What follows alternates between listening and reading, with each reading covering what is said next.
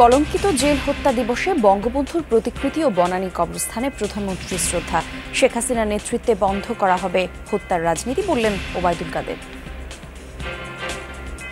BNP হচ্ছে হত্যা ষড়যন্ত্রের রাজনীতির হোতা এবং তারাই আসলে বঙ্গবন্ধু হত্যা, জেল হত্যা, একুশে আগস্টের হত্যাকাণ্ড। এগুলো তাদেরই কাজ। তারেক জুবাইদা রহমানের বিরুদ্ধে গ্রেফতারি পরোয়ানার প্রতিবাদে মহিলা দলের বিক্ষোভ। বাধা সত্ত্বেও সফল হবে বরিশালের গণসমাবেশ, দাবি কুকুর লেলিয়ে হিমাদ্রি হত্যা মামলায় রিয়াজ শাউন সহ তিনজনের ফাঁসির আদেশ হাইকোর্টে বহাল, দুইজন খালাস। রায়ে অসন্তুষ্ট স্বজনরা। দিন সেটা এই ভয়ের মধ্যে থাকতে হবে আসলে ভীষণ এর মধ্যে আছে। বিমানের জিএম এডমিন অফিস থেকেই ফাঁস হয় নিয়োগ পরীক্ষার প্রশ্ন, জানালো ডিবি। ফটোকপির সময় মোবাইলে ছবি তুলে নেন দুজন।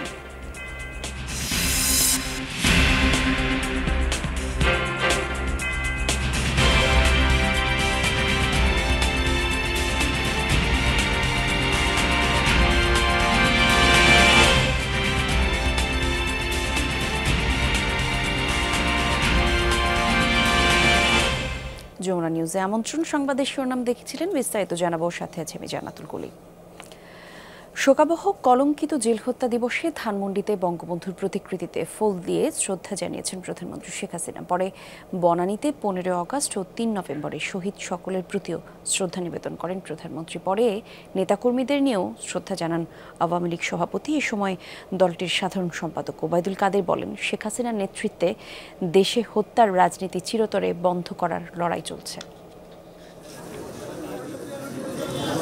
সকাল সাতটায় ধানমন্ডির বত্রিশ নম্বরে জাতির পিতা বঙ্গবন্ধু শেখ মুজিবুর রহমানের প্রতিকৃতিতে ফুল দিয়ে শ্রদ্ধা জানান প্রধানমন্ত্রী শেখ হাসিনা। এরপর আওয়ামী লীগ সভাপতি হিসাবে দলের নেতাকর্মীদের সাথে নিয়ে বঙ্গবন্ধুর প্রতি শ্রদ্ধা নিবেদন করেন তিনি। এই আনুষ্ঠানিকতা শেষে আওয়ামী লীগ সাধারণ সম্পাদক ওবায়দুল কাদের বলেন, পঁচাত্তরের পনেরো আগস্ট সপরিবারে বঙ্গবন্ধুকে হত্যা ও তিন নভেম্বরের জেল হত্যাকাণ্ড একই সূত্রে গাঁথা। জেল হত্যা দিবসকে জাতীয় শোক দিবস ঘোষণার যে দাবি উঠেছে, তা সরকারের উচ্চ পর্যায়ের সিদ্ধান্ত বলে জানান তিনি। বিএনপি হচ্ছে হত্যা ষড়যন্ত্রের রাজনীতির হোতা এবং তারাই আসলে বঙ্গবন্ধু হত্যা, জেল হত্যা, একুশে আগস্টের হত্যাকাণ্ড, এগুলো তাদেরই কাজ। চিরতরে বাংলার রাজনীতি হত্যা ষড়যন্ত্রের রাজনীতি বন্ধ করতে হবে শেখ হাসিনার নেতৃত্বে আমাদের লড়াই চলছে। এরপর বনানী কবরস্থানে পনেরো আগস্ট ও তিন নভেম্বরে হত্যাকাণ্ডের শিকার নেতাদের কবরে শ্রদ্ধা জানান প্রধানমন্ত্রী শেখ হাসিনা। এরপর আওয়ামী লীগ ও অঙ্গ সংগঠনের নেতাকর্মীরা শ্রদ্ধা জানান। শুধু বঙ্গবন্ধুর হত্যাকাণ্ডের সাথে যে জিয়া রহমান যুক্ত তা নয় এই তেরোশো নভেম্বরের হত্যাকাণ্ডের সাথেও জিয়া রহমান যুক্ত। জেলখানার প্রোটোকল ভেঙে আর কোনো রাজনৈতিক হত্যাকাণ্ড যাতে না ঘটে, এমন সংস্কৃতি গড়ে তোলার প্রত্যয় জানান আওয়ামী লীগের নেতাকর্মীরা। শওকত মঞ্জুর শান্ত, যমুনা নিউজ, ঢাকা। জাতীয় চার নেতার হত্যাকাণ্ডে দণ্ডিত পলাতক আসামিদের ফিরিয়ে আনতে জোর তৎপরতা অব্যাহত রয়েছে, জানিয়েছেন স্বরাষ্ট্রমন্ত্রী আসাদুজ্জামান খান। সকালে পুরাতন কেন্দ্রীয় কারাগারে জাতীয় চার নেতার স্মৃতিস্তম্ভে শ্রদ্ধা নিবেদন শেষে কথা জানান তিনি। স্বরাষ্ট্রমন্ত্রী বলেন, এই হত্যাকাণ্ডে কুশীলবদের বিচারের জন্য একটি কমিশন গঠনের প্রক্রিয়া চলছে। এ সময়ে জাতীয় নেতা তাজউদ্দিন আহমেদের ছেলে সোহেল তাজ প্রকৃত ইতিহাস তুলে ধরতে তদন্ত কমিশন গঠনের আহ্বান জানান। বঙ্গবন্ধু বন্দি থাকা কক্ষ পরিদর্শন করে শ্রদ্ধা নিবেদন করেন স্বরাষ্ট্রমন্ত্রী সহ চার নেতার পরিবারের সদস্যরা। এর আগে চার নেতার স্মৃতি বিজড়িত জাদুঘর পরিদর্শন করেন তারা।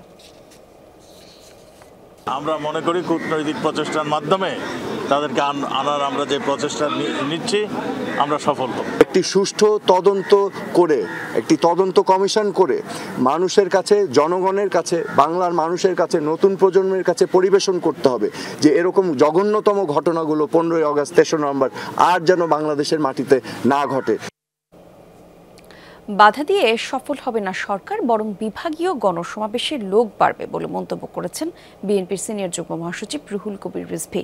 তারেক রহমান ও জুবাইদা রহমানের বিরুদ্ধে গ্রেফতারি পরোয়ানার জারির প্রতিবাদে নয়াপল্টনে মহিলা দলের বিক্ষোভ সমাবেশে এই মন্তব্য করেন তিনি। রিজভির অভিযোগ, বিদেশিদের দয়া আর আইন শৃঙ্খলা বাহিনী ব্যবহার করে টিকে আছে সরকার। ক্ষমতাসীনদের বিরুদ্ধে গণ আন্দোলন আরও জোরদার করা হবে বলে হুঁশিয়ারি দেন বিএনপির এই নেতা। খাবার আর জ্বালানি কেনার রিজার্ভের টাকা কোথায়? সরকারের কাছে ব্যাখ্যা চান রিজভি আহমেদ।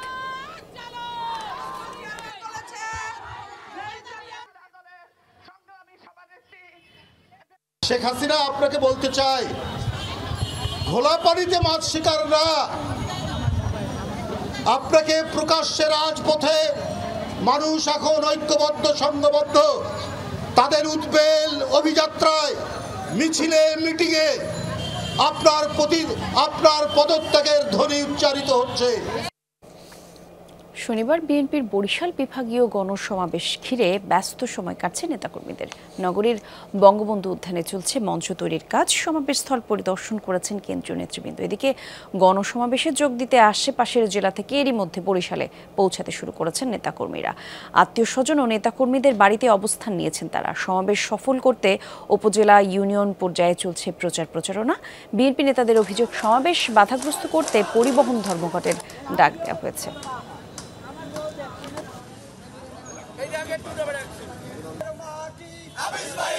আমাদের বিভিন্ন রকম বাধা বিপত্তি তৈরি করা হচ্ছে। গাড়ি ধর্মঘট দেওয়া হয়েছে সাজানো। নিজেরা নিজেরাই লঞ্চ ধর্মঘট দিয়েছেন। কখনো শ্রমিকদের ঘাড়ে, কখনো মালিকদের ঘাড়ে বন্দুক রেখে সরকার তাদের, তার কি বলব, এটা অনাকাঙ্ক্ষিত কর্মকাণ্ডগুলো পরিচালনা করছেন। এ বিষয়ে আরও জানাতে বরিশাল থেকে যুক্ত হচ্ছেন সহকর্মী কাউসার হোসেন। কাউসার একদিকে গণসমাবেশ, অন্যদিকে পরিবহন ধর্মঘট, লঞ্চ বন্ধ কি অবস্থা সেখানকার?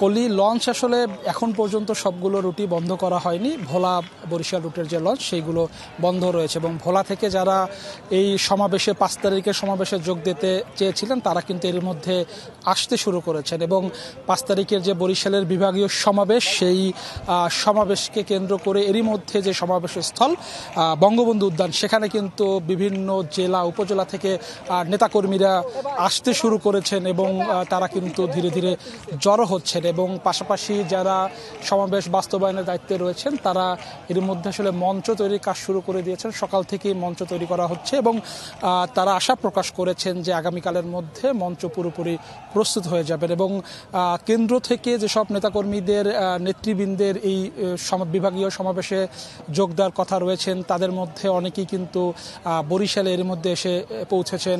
অনেকেই আজ চলে আসবেন এবং সকাল থেকে দফায় দফায় কিন্তু কেন্দ্রীয় নেতৃবৃন্দ এই সমাবেশের স্থল বঙ্গবন্ধু উদ্যান পরিদর্শন করেছেন এবং তারা পরিদর্শন শেষে কিন্তু স্বস্তি প্রকাশ করেছেন যে সবই ঠিকঠাকভাবে চলছেন এবং ভোলা বরিশাল রুটে যে লঞ্চ চলাচল করতো সেটি আসলে বন্ধ করা হয়েছে। গতকাল রাতে দুর্বৃত্তদের হামলার প্রেক্ষিতে এবং আগামীকাল থেকেই কিন্তু বরিশাল যে বাস মালিক সমিতি এবং পাশাপাশি থ্রি হুইলার মালিক সমিতি তারা কিন্তু পৃথকভাবে ধর্মঘট আহ্বান করেছেন এবং আটচল্লিশ ঘণ্টা টানা- আটচল্লিশ ঘণ্টা এই ধর্মঘট চলবে এবং নেতাকর্মীরা বলছেন যে পরিবহন এই ধর্মঘটের কারণে কিন্তু যে যারা যেসব নেতাকর্মী বরিশাল বিভাগের বিভিন্ন জেলা থেকে, উপজেলা থেকে সমাবেশস্থলে আসার কথা তাদের বাধাগ্রস্ত হচ্ছে এবং তারা আশ্বস্ত করেছেন যে যেসব নেতাকর্মী আসতে পারছেন না, তারা ঠিক সময়ের মধ্যে পাঁচ তারিখে এই সমাবেশে যোগ দেবেন।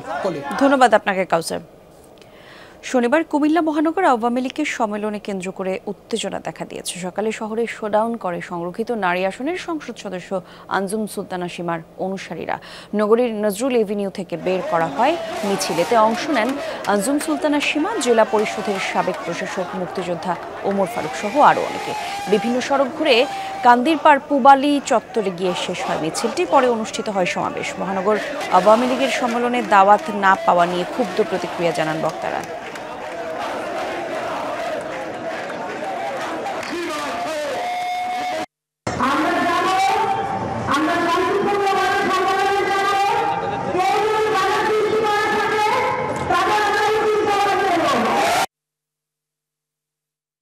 আগামী সাতাশ ডিসেম্বর রংপুর সিটি কর্পোরেশনের নির্বাচন। ভোট নেওয়া হবে ইভিএমে সিসি ক্যামেরার আওতায় থাকবে সব কেন্দ্র। সকালে নির্বাচন কমিশন সভায় এই সিদ্ধান্ত নেওয়া হয়। আগারগাঁওয়ে কমিশন ভবনে সিইসি কাজী হাবিবুল আওয়ালের সভাপতিত্বে এই সভা হয়। এতে কয়েকটি ইউনিয়ন ও পৌরসভা নির্বাচন নিয়ে সিদ্ধান্ত নেওয়া হয়। উনত্রিশ ডিসেম্বর রাজশাহীর বাঘা, দিনাজপুরের বিরল, পঞ্চগড়ের বোদা, ফরিদপুরের আলফাডাঙ্গা এবং নাটোরের বনপাড়া পৌর নির্বাচন হবে। কমিশন বলছে নির্বাচনে সিসি ক্যামেরার ব্যবহার করার সুফল পাওয়া যাচ্ছে। ব্রিফিংয়ে কমিশন সচিব জাহাঙ্গীর আলম বলেন বাকি থাকা পৌরসভা ইউনিয়নের নির্বাচনেও সিসি ক্যামেরার ব্যবহার করা হবে। ভোট গ্রহণের সময় সকাল আটটা তিরিশ থেকে বিকেল চারটা তিরিশ পর্যন্ত। বাংলাদেশের প্রত্যেকটি দল প্রত্যেক ব্যক্তি নির্বাচনে অংশগ্রহণ করবে এটাই নির্বাচন কমিশনের প্রত্যাশা। কুকুর লেলিয়ে ছাদ থেকে ফেলে চট্টগ্রামে কলেজ ছাত্র হিমাদ্রি মজুমদার হত্যা মামলায় মৃত্যুদণ্ড পাঁচ জনের মধ্যে তিনজনের ফাঁসি বহাল রেখেছেন হাইকোর্ট। বাকি দুজনকে খালাস দিয়েছেন আদালত। দুপুরে বিচারপতি ভীষ্মদেব চক্রবর্তী ও বিচারপতি খন্দকার দিলিরুজ্জামানের হাইকোর্ট বেঞ্চে এই রায় ঘোষণা করেন। ফাঁসির দণ্ড বহাল থাকা আসামিরা হলেন ব্যবসায়ী শাহ সেলিম টিপুর ছেলে জুনায়ন আহমেদ রিয়াদ, রিয়াদের বন্ধু জাহিদুর রহমান শাওন ও মাহবুব আলী ড্যানি মামলায় ব্যবসায়ী শাহ সেলিম টিপু ও সাদাত হোসেন সাজুকে খালাস দিয়েছেন আদালত। আসামিদের মধ্যে জুনায়দ আহমেদ রিয়াদ ও জাহিদুর রহমান শাওন পলাতক। মাদক কারবারে বাধা দেয় চট্টগ্রামের পাঁচলাইশ এলাকার সামারফিল্ড স্কুল অ্যান্ড কলেজের সামনে থেকে। দু হাজার বারো সালের সাতাশ এপ্রিল হিমাদ্রিকে ধরে নিয়ে যায় আসামিরা। রিয়াদের বাড়ির ছাদে নিয়ে হিমাদ্রিকে আটকে রেখে মারধর করা হয়। পরে হিংস্র কুকুর লেলিয়ে ও ধাক্কা দিয়ে তাকে ফেলে দেওয়া হয়। মামলার তদন্ত শেষে পুলিশ দুহাজার বারো সালের ত্রিশ অক্টোবর পাঁচ আসামির বিরুদ্ধে আদালত অভিযোগপত্র দেয়। বিচার শেষে দুহাজার ষোলো সালের চোদ্দ আগস্ট হিমাদ্রি হত্যা মামলায় পাঁচ আসামির সবাইকে মৃত্যুদণ্ড দেন আদালত। হাইকোর্টের রায়ে অসন্তোষ প্রকাশ করেছেন নিহতের পরিবার। সঠিক বিচার দাবি করেন তারা।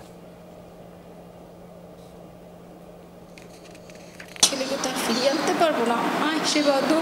বলতে পারব ছেলের সামনে যে তোমাকে বাঁচাতে না পারল তো রায়ের মাধ্যমে কিছু একটা করতে পেরেছি।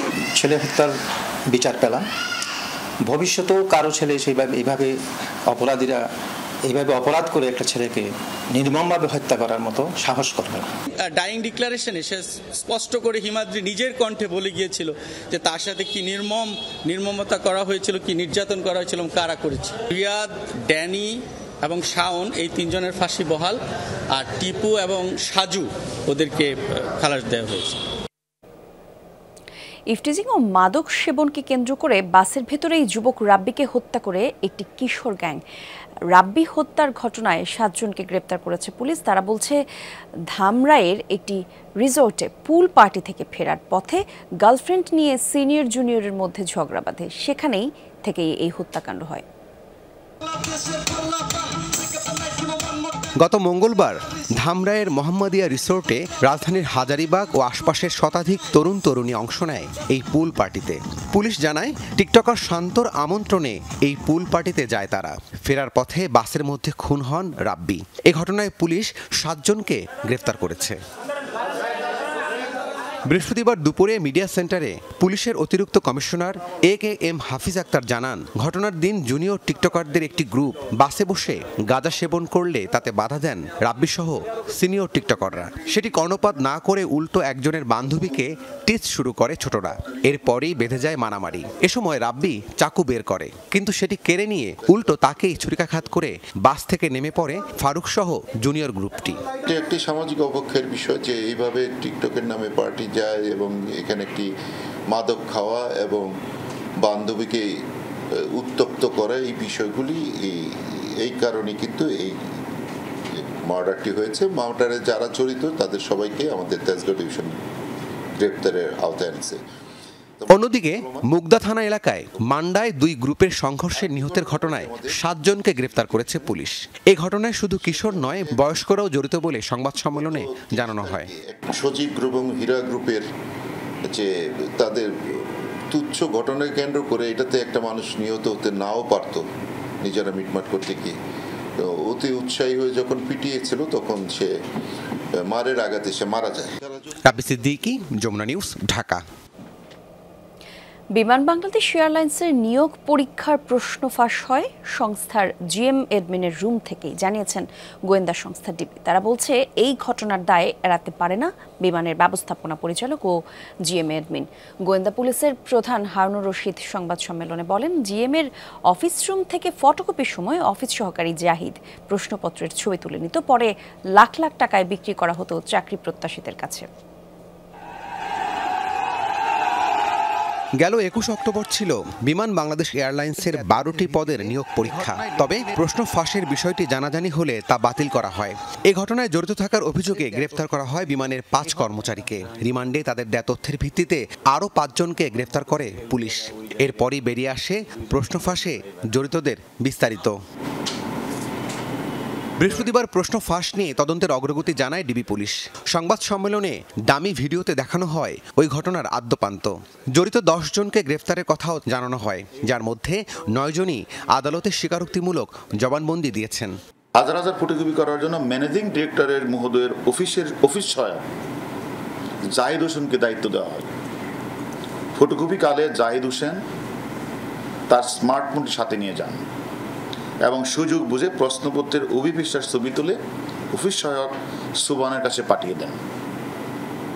সুবান পরবর্তীতে হাতে লেখে এবং কিছু পত্র সংযোজন করে কয়েকজনের কাছে বিতরণ করেন।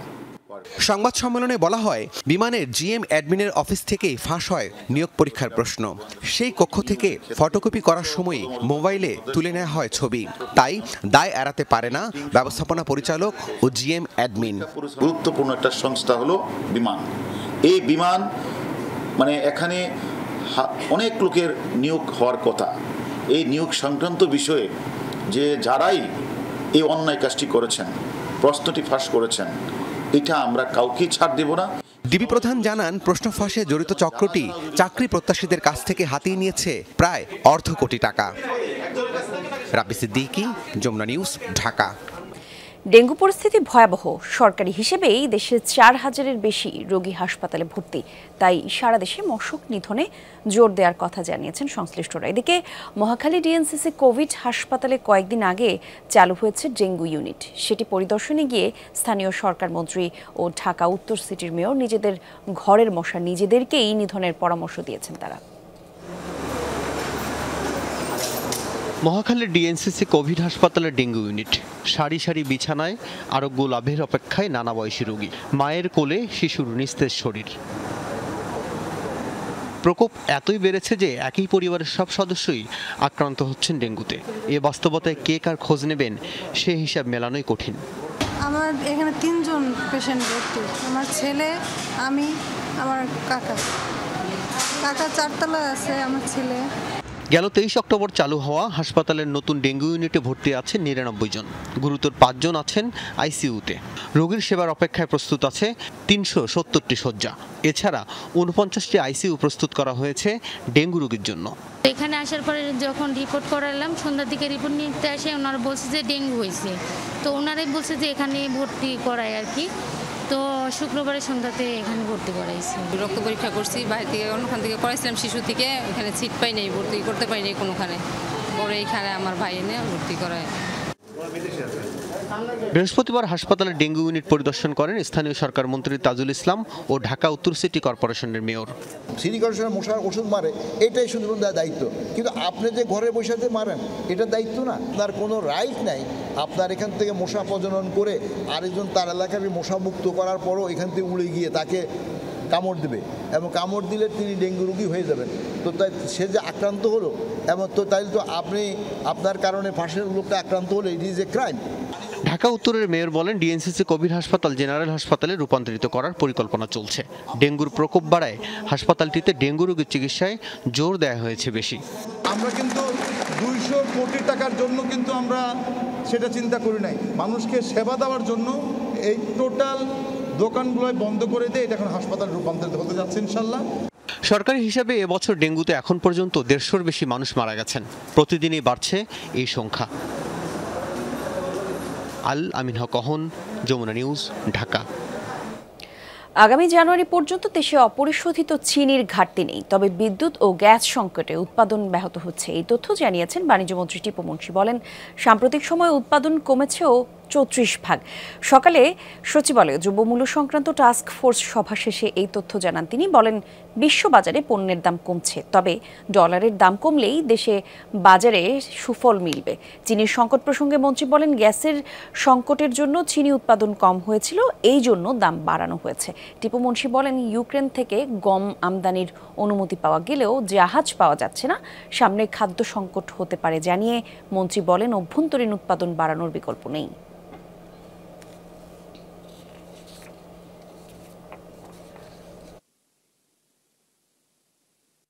মাননীয় প্রধানমন্ত্রী তারপরেও আগে থেকেই সতর্ক করে দিয়েছে আপনারা জানেন, যে খাদ্য উৎপাদনে যদি আমরা একটু লক্ষ্য করি, আমাদের জন্য এক ইঞ্চি জমিও অনাবাদী না থাকে, কেন বেসিক রিকোয়ার মানুষের ফুড ফুডটা যদি থাকে ঠিক, অন্যদিকে আমরা কম্প্রোমাইজ করতে পারি, কিন্তু খাদ্যে তো আর কম্প্রোমাইজ করা যাবে না। ডলারের দামটা একটু কমে, তাহলে গ্লোবাল মার্কেটে যে দামটা কমেছে, আমাদের ভোক্তাদের সেই কম দামে আমরা দিতে পারব বলে মনে করি। আগামী জুনের শুরুতে উৎপাদনে আসছে পাঁচশো নব্বই মেগাওয়াট ক্ষমতার মেঘনাঘাট দুই বিদ্যুৎ কেন্দ্র। দেশীয় গ্যাস বা আমদানি করা এলএনজি দিয়ে চলবে তা। জ্বালানি সংকট হবে না বলে দাবি উদ্যোক্তাদের। মার্কিন কোম্পানি জেনারেল ইলেকট্রিকের সাথে যৌথভাবে এই প্রকল্প বাস্তবায়ন করেছে সামিট পাওয়ার। সকালে প্রকল্প পরিদর্শনে গিয়ে মার্কিন রাষ্ট্রদূত পিটার হাস জানান, সর্বাধুনিক প্রযুক্তির এই কেন্দ্র থেকে পরিবেশন দূষণ কম হবে। যুক্তরাষ্ট্র নবায়নযোগ্য জ্বালানি খাতে আরও বেশি বিনিয়োগে আগ্রহী বলেও জানান রাষ্ট্রদূত। বলেন, বাংলাদেশি ব্যবসায়ীদের মতোই বিনিয়োগের জন্য রাজনৈতিক স্থিতিশীলতা, আইনের শাসন ও দুর্নীতিমুক্ত পরিবেশ চান যুক্তরাষ্ট্রের ব্যবসায়ীরা।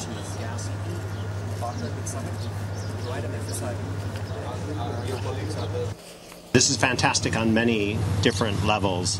Um, the first is the U.S. technology that's being brought here and what will end up being um, probably the most efficient power generating facility in all of Bangladesh. We are almost entering the test phases, and then section by section, we will start testing this plant and we'll take it to full commissioning by June of 2023.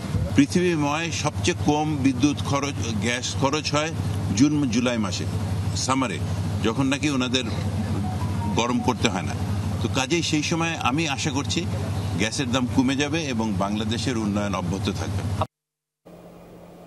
ইঅরেঞ্জ নিয়ে Bangladesh financial intelligence unit বিএফআইইউর report দায়সারা ফের report দাখিলের নির্দেশ দিয়েছেন high court. সকালে বিচারপতি মোহাম্মদ নজরুল ইসলাম তালিকদার ও বিচারপতি খিজির হায়াতের দ্বৈত হাইকোর্ট বেঞ্চ এই নির্দেশ দেন। এছাড়া বরখাস্তকৃত পুলিশ পরিদর্শক সোহেল রানাকে দেশে আনতে পদক্ষেপ গ্রহণের নির্দেশ দিয়েছেন হাইকোর্ট। ই কমার্স প্রতিষ্ঠান ই অরেঞ্জের প্রতিষ্ঠাতা সোনিয়া মেহজাবিন ও তার ভাই বরখাস্তকৃত পরিদর্শক শেখ শেখ সোহেল রানা ও চাচা মোহাম্মদ জায়েদুল ফিরোজ শত কোটি টাকা সরিয়েছেন গতকাল হাইকোর্টে এ সংক্রান্ত একটি প্রতিবেদন দাখিল করে বাংলাদেশ ব্যাংক। এর আগে এই প্রতিষ্ঠানের বিরুদ্ধে গ্রাহকের অর্থ আত্মসাৎ এবং পাচারের ঘটনা তদন্তের নির্দেশ দিয়েছিল হাইকোর্ট। পাঁচশো সাতচল্লিশ গ্রাহকের আটকে থাকা সাতাত্তর কোটি ছেচল্লিশ লাখ টাকা ফেরত চেয়ে করার রিটের পরিপ্রেক্ষিতে গত সাত এপ্রিল হাইকোর্টের দ্বৈত বেঞ্চ রুল সহ এই আদেশ দেন।